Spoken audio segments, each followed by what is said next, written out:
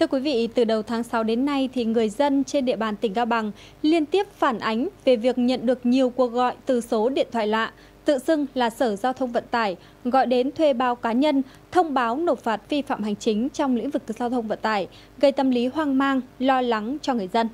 Liên quan đến vấn đề này, phóng viên chúng tôi đã trực tiếp đến tìm hiểu tại nhà người dân cũng như cơ quan quản lý nhà nước về lĩnh vực giao thông vận tải của tỉnh.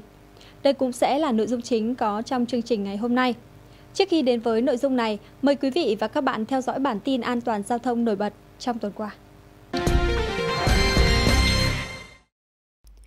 Theo báo cáo của Ban An toàn Giao thông tỉnh, từ ngày 15 tháng 5 đến ngày 14 tháng 6, trên địa bàn tỉnh xảy ra 4 vụ tai nạn giao thông nghiêm trọng, làm chết 4 người, bị thương 2 người, thiệt hại ước tính 27 triệu đồng.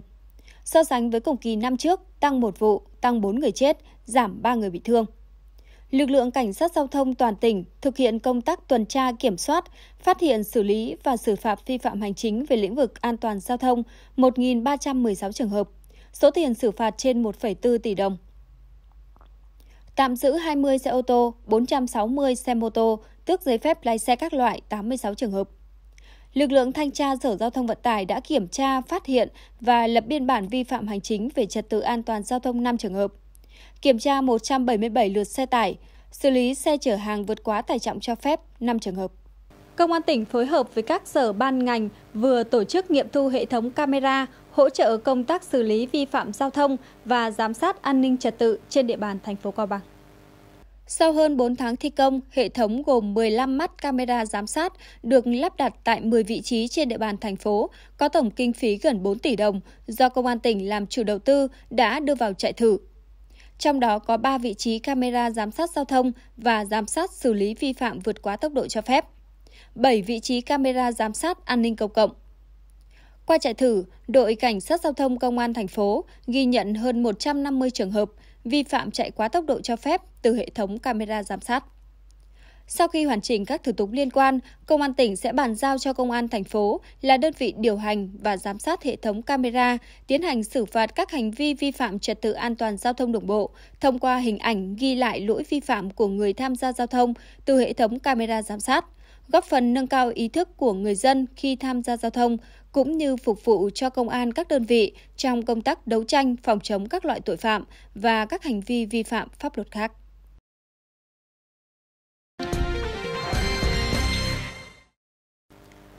Thưa quý vị và các bạn, thời gian gần đây, nhiều người dân trên địa bàn tỉnh Cao Bằng có phản ánh thường xuyên có số điện thoại lạ tự xưng là Sở Giao thông Vận tải gọi đến các chủ thuê bao thông báo có biên lai xử phạt vi phạm giao thông.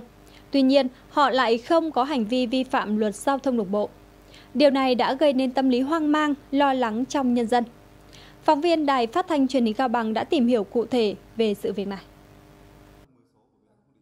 Sở Giao thông Vận tải thông báo bạn có một biên lai chưa nộp phạt vui lòng nhấn phím 9 để được kiểm tra. Sở Giao thông Vận tải thông báo bạn có một biên lai chưa nộp phạt vui lòng nhấn phím 9 để được kiểm tra. Đây là nội dung cuộc điện thoại mà anh Hoàng Văn Nghị, hiện đang sinh sống tại tổ 3 phường Ngọc Xuân, thành phố Cao Bằng, nhận được mới đây. Sau khi nhận được cuộc điện thoại này, anh Nghị đã gọi lại với mục đích để hỏi rõ hơn về thông báo. Tuy nhiên, cuộc gọi không thực hiện được. Anh Nghị khá lo lắng bởi đây là lần đầu tiên anh nhận được cuộc điện thoại đề nghị nộp phạt vi phạm hành chính trong lĩnh vực giao thông vận tải, trong khi anh không vi phạm các quy định về trật tự an toàn giao thông.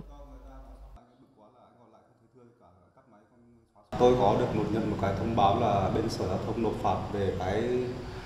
uh, vi phạm luật giao thông trong khi đó thì gọi đến cho tôi thì tôi cũng bất ngờ quá thì tôi cũng không biết là mình vi phạm cái gì. Cái đó thì ờ, tôi nghe xong thì tôi sẽ gọi lại. Nhưng mà cuộc gọi là thuê bao và không liên lạc được. Đầu tiên thì tôi cũng thấy lo bởi vì lo là mình à, à, tại sao là cơ quan pháp luật đang nói mình thế? Đấy thì mà tôi vẫn nộn là vì là nó không đúng sự thật gây bức xúc cho tôi khá bức xúc và phẫn nộ về nội dung buộc tội từ cuộc điện thoại, anh Nghị đã gọi điện phản ánh đến Sở Giao thông Vận tải để được giải thích và làm rõ. Là tôi gọi sang Sở Giao thông và tôi hỏi là tôi có vi phạm gì không? Nếu mà vi phạm phải có văn bản, giấy tờ nộp đến gia đình tôi và tôi sẽ xem là tôi phải vi phạm không. Nếu mà không văn bản giấy tờ thì tôi nghĩ là đó là một cái tin ảo không đúng sự thật. Không chỉ anh Hoàng Văn Nghị mà một số cá nhân cũng như các doanh nghiệp kinh doanh vận tải khác trên địa bàn tỉnh Cao Bằng cũng đã nhận được những cuộc điện thoại với nội dung tương tự, chỉ khác ở số điện thoại gọi đến.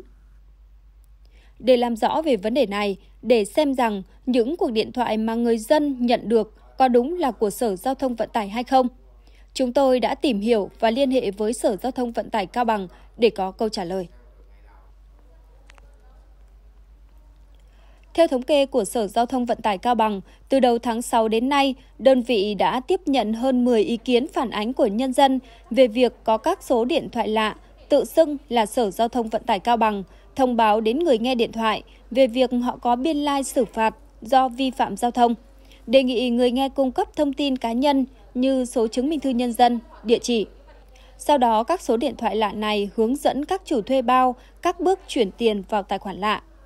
Tuy nhiên, các số điện thoại lừa đảo này đều trả lời theo hình thức tự động. Sau khi liên tiếp nhận được phản ánh của người dân, lãnh đạo Sở Giao thông Vận tải Cao Bằng đã chỉ đạo bộ phận tiếp công dân tại văn phòng sở và lực lượng thanh tra giao thông xác minh, kiểm tra sự việc. Căn cứ theo quy định của pháp luật hiện hành, theo chức năng thẩm quyền được pháp luật quy định. Thanh tra Sở Giao thông Vận tải Cao Bằng thực hiện việc kiểm tra, lập biên bản vi phạm hành chính đối với các cá nhân, tổ chức vi phạm hành chính và ban hành quyết định xử phạt vi phạm hành chính theo quy định của pháp luật. Cá nhân, tổ chức vi phạm nhận quyết định xử phạt vi phạm hành chính và phải nộp phạt tại kho bạc hoặc các điểm thu nộp phạt do kho bạc nhà nước ủy thác, ngân hàng. Hiện tại, Thanh tra Sở Giao thông Vận tải Cao Bằng chưa thực hiện việc thu nộp tiền phạt vi phạm hành chính trực tuyến. Sở Giao thông Vận tải Cao Bằng khẳng định những hành vi trên chỉ là mạo danh, lợi dụng nhằm trục lợi cá nhân. Sở Giao thông Vận tải Cao Bằng không có chỉ đạo nào về việc thu nộp tiền xử phạt như phản ánh của người dân.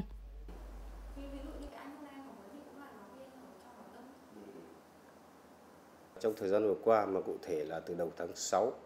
thì chúng tôi nhận được à, nhiều cái phản ánh từ người dân là có những cái số điện thoại lạ gọi vào các thuê bao của người dân tự xưng là cán bộ của Sở Giao thông Vận tải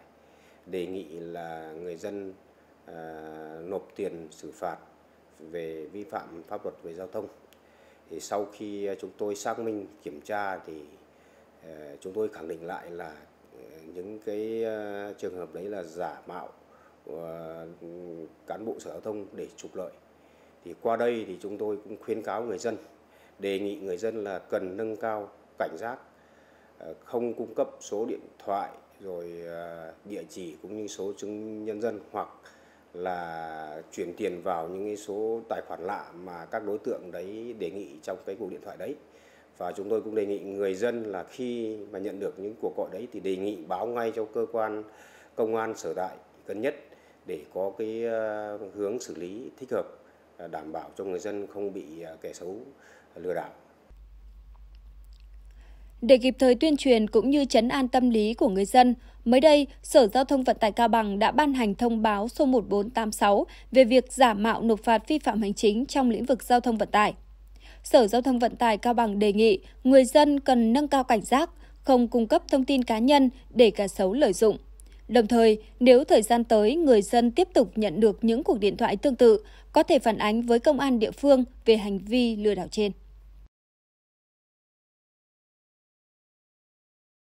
Vâng thưa quý vị và các bạn, lãnh đạo Sở Giao thông Vận tải đã khẳng định rằng việc gọi điện thoại thông báo nộp phạt hành chính mà chúng tôi phản ánh trong phóng sự vừa rồi là hành vi mạo danh, lợi dụng nhằm trục lợi cá nhân. Chính vì vậy để tránh bị lừa đảo, mỗi người dân cần nâng cao ý thức, nhận thức, tuyệt đối không cung cấp, chia sẻ thông tin cá nhân, lai lịch, chứng minh thư nhân dân, số điện thoại, thông tin số tài khoản ngân hàng và những thông tin liên quan khác cho bất kỳ ai với bất kỳ hình thức nào. Thưa quý vị và các bạn, xe tải quên hạ thùng, hiên ngang đi trên phố. Tình huống tưởng chừng như không thể xảy ra lại diễn ra khá phổ biến trong thời gian gần đây. Nhiều người tỏ ra khá bức xúc trước hành vi lái xe thiếu trách nhiệm, bất chấp nguy hiểm của người điều khiển. Tình huống sau đây là một ví dụ điển hình. Không rõ tài xế xe tải quên hạ thùng hay do trục nâng bị hỏng. Tuy nhiên, dẫu sao tình huống trong đoạn video rõ ràng rất nguy hiểm và không được phép diễn ra. Do quên hạ thùng xe, xe ben đã va trúng cầu vượt đường bộ, sau đó bị đè bẹp trong cabin. Ngay sau khi được đăng tải, đoạn clip đã nhanh chóng nhận được sự quan tâm, chú ý từ phía cộng đồng mạng. Hầu hết ý kiến bình luận đều cho rằng tài xế xe ben đã quá bất cẩn khi không chịu kiểm tra kỹ trước khi chạy xe. Đoạn video sau khi đăng tải trên một số diễn đàn, hội nhóm mạng xã hội khiến nhiều người dùng mình. Đa số tỏ ra bức xúc trước hành vi lái xe thiếu trách nhiệm, bất chấp nguy hiểm của tài xế xe tải. Đồng thời đề nghị cơ quan chức năng vào cuộc xử phạt hành vi trên. Bên cạnh đó, một số tài khoản cũng đặt câu hỏi liệu tài xế xe tải này có nhìn gương chiếu hậu khi vụ việc diễn ra, hay dù phát hiện lỗi nhưng vẫn cố chấp cho xe thản nhiên phóng trên đường.